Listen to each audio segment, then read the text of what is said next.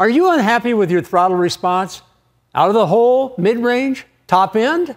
If there's room for improvement, I have the solution. I'm Gale Banks. What happens when an engine guy, or even better, a turbo guy, does a throttle booster?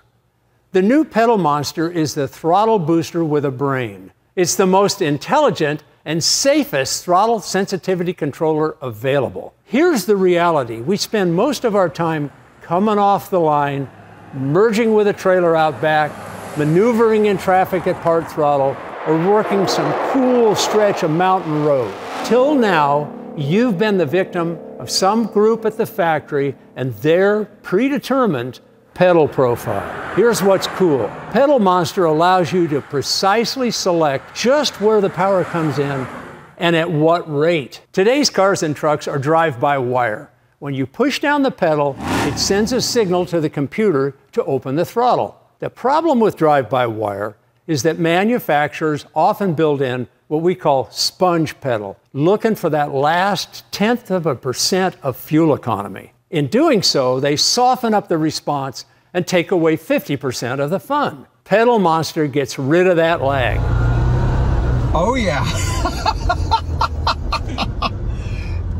oh, this is fun. Let me explain. First, you select the transmission type, stick or automatic. Then you choose your driving mode city, sport, or track, each of which have 10 pedal profiles. Here's how it works. The pedal monster intercepts signals between the pedal and the vehicle's computer. Then it modifies those signals based on the mode and pedal profile you choose. You know there are quite a few throttle boosters on the market, and almost all of them have something in common. They're not safe. The biggest safety issue with modules like these is that if something goes wrong, you're instantly left with no pedal. It's like you took the pedal and threw it out the window. Well, hell, I guess we don't need this pedal. This is where Pedal Monster is different. It utilizes the same active safety health monitoring circuitry that we use in all our inline tuners. All pedal sensors send two or more signals to the vehicle's computer, one rising and one falling. This redundancy is done for safety. Pedal Monster is constantly looking at these signals. If it sees something out of spec, it returns the pedal to stock.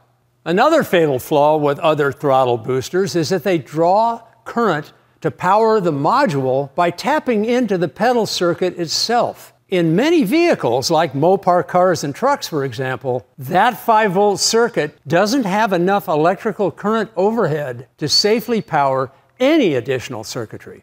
Apparently, some of our competitors have a problem with this. so we've got the check engine light on. The truck just said engine power reduced.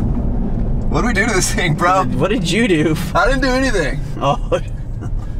Maybe this pedal commander wasn't a good idea. We solved this by supplying this guy, an OBD cable powering the Pedal Monster via 12 volts from the OBD port where there's ample current capacity. Since we're on the OBD port and capable of communicating with the vehicle's computer, we added vehicle speed sensing, giving us adjustable low speed trim, and on stick shifts, smoother clutch engagement. And selected gear sensing gives us reverse safety. These are important safety features no other throttle device has. This is called speed-based trim. So you can select kind of that, that response and the level of response under 10 miles an hour. So I don't want to have to disable the system every time I'm loading the back of the, the bed up or towing a trailer.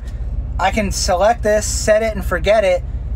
Under 10 miles an hour, stock throttle response. And because Pedal Monster knows what gear you're in, it automatically returns to stock pedal sensitivity when you're in reverse. Reverse is not something you want to get too spicy in. Modules like Pedal Commander have no clue what speed you're at or what gear you're in, so they're just as twitchy in reverse as they are in drive. Easy. A two-year-old could do this. And when you combine it with an iDash Data Monster or iDash Super Gauge, you can control the pedal monster right from the gauge. And if you're wondering, will this affect my warranty? If that's a concern, when you remove the pedal monster, it doesn't leave a footprint. We've got them for cars, We've got them for trucks. We've got them for naturally aspirated, supercharged, and turbocharged. And it'll put a smile on your face. I swear, it's so responsive now. I barely even touch it. If this sounds fun, hit us up at bankspower.com or reach out to one of our hundreds of installing dealers. this is city? what sport?